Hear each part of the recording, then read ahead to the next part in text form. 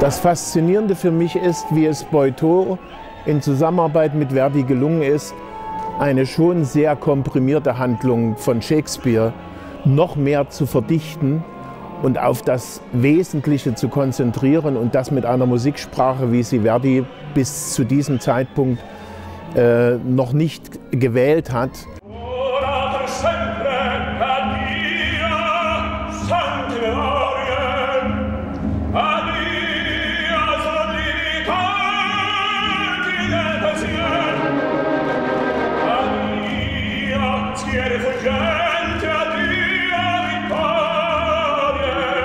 Also der Raum ist im Grunde genommen die Festung und Kaserne auf Zypern, der Republik Venedig. Und in dieser engen Konstellation kann auch die Intrige besser funktionieren.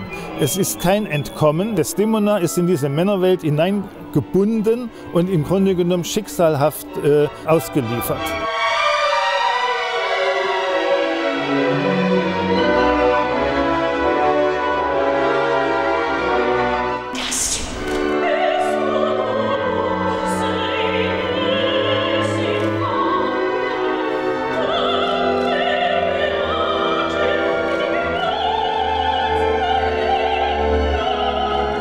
Othello ist ein perfekt konzipiertes, dramatisches Gesamtkunstwerk und hat mit den anderen italienischen Opern, sehr traditionellen Opern, die Verdi vorher geschrieben hat, fast nichts mehr zu tun. Einzigartig fast in seinem Schaffen und auch in der italienischen Operngeschichte.